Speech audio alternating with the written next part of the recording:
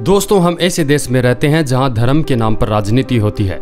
देश के फौजियों को मारकर, दो गुटों को लड़ाकर लोकल छोटे मोटे संगठनों को थोड़े बहुत पैसे और पावर का लालच देकर दंगे करवाए जाते हैं। देश के किसानों से उनका हक छीना जाता है। श्री राम जैसे शुद्ध शब्द को किसी को मारने से पहले बोला जाता है। देश के पुराने गड्ढे हुए मुर्दों को उखाड़ा जाता है। आरएसएस जैसे संगठनों को एक शांति का प्रतीक माना जाता है। युवाओं के मन में रोज़गार और मिलनसार जैसी भावनाओं के परे उनके मन में हिंदू बनाम मुस्लिम जैसी भावनाओं को ज़्यादा प्रेरणा दी जाती है। जो देश में समझदारी से रोज़गार देने, देश में एकता बनाए रखने, सिर्फ़ अपने किए हुए कार्यों पर राजनीति करते हैं उनको हमारे देश में बेवकूफ़ समझा जाता है। मैं बात कर रहा हूँ मोदी और राहुल गांधी की। इस बात में कोई शक नहीं है कि कौन कैसा है। देश के किसानों को 2020-21 में लगभग एक साल और चार महीने तक उनकी बातों को नहीं सुना गया। मोदी इस बात पर कोई जवाब नहीं देना चाहते कि मणिपुर में क्या हो रहा है।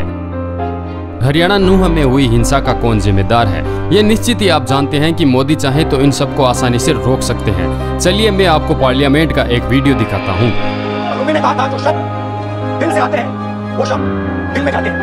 तो आज मैं दिमाग से नहीं बोलना चाह रहा हूँ मैं दिल से बोलना चाह रहा हूँ। दिमाग के हाथ को एक लंबे समय से जानता लेकिन अब उनके दिल का भी पता चलता आज सदन है आप तरीके से बोलने वाले राम ने रावण को नहीं मारा था। रावण के अहंकार ने रावण को मारा था। आप पूरे देश में केरोसिन फेंक रहे हो। पूरे देश में आप केरोसिन फेंक रहे हो आपने मणिपुर में केरोसिन फेंकी अपनी चिंगारी लगा दी अब आप हरियाणा में कर रहे हो, पूरे देश को आप चलाने में लगे हो। आप पूरे देश में भारत माता की हत्या कर रहे हो। लंका हनुमान ने नहीं जलाई। लंका हनुमान ने नहीं जलाई। उनके कमंड ने जलाई। और ये बिल्कुल सच है। आप देखिए, जनता जनार्दन भी भगवान राम के रूप की है। जनता जनार्दन भी भगवान राम के रूप की है। और इसलिए 400 से 40 हो गए।